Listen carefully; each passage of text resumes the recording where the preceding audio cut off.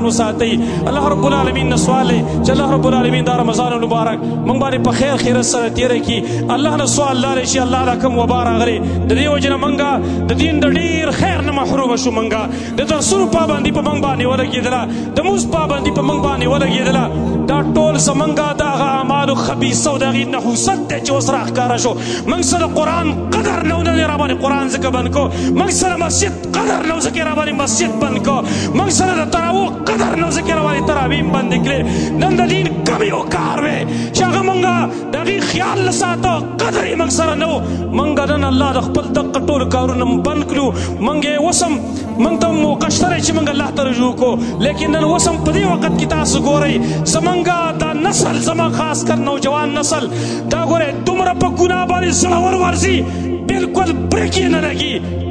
تقریبا دوه ورځې درې ورځې مخکې په دې حالاتو کې بیا هم د لواطت کیس راغلی دی په تاڼه کې پروت دی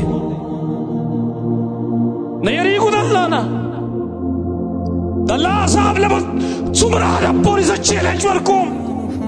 زه به د الله عذاب څومره چیلنج کوم دا عذاب پوره نه دی چې د رمضان درس یې راباندې بند کړم دا بس نه دی قسم په الله که زمونږ په زړه کې د ترس راځي قسم په الله که د الله نه څه یره زمونږ په زړه کې راځي چې د رمضان المبارک درس ته به ټول خلک په تمه وو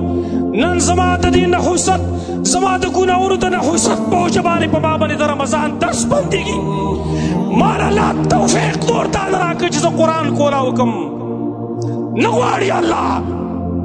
چې ما او تا قرآن په لاس کې راکړي زما وروڼو نن موقع ده ګورئ راځئ نن موقع ده خپل الله ته رجوع وکړئ یوازې د کرونا نه د مرګ خبره نه ده زما وروڼو خو اسانه ده خو لکل امت اجل د هر یو امت دپاره یوه نېټه ده اذا جا اجلهم لا یستاخرون ساعتا ولا یستقدمون کله هم چې د چا نېټه راله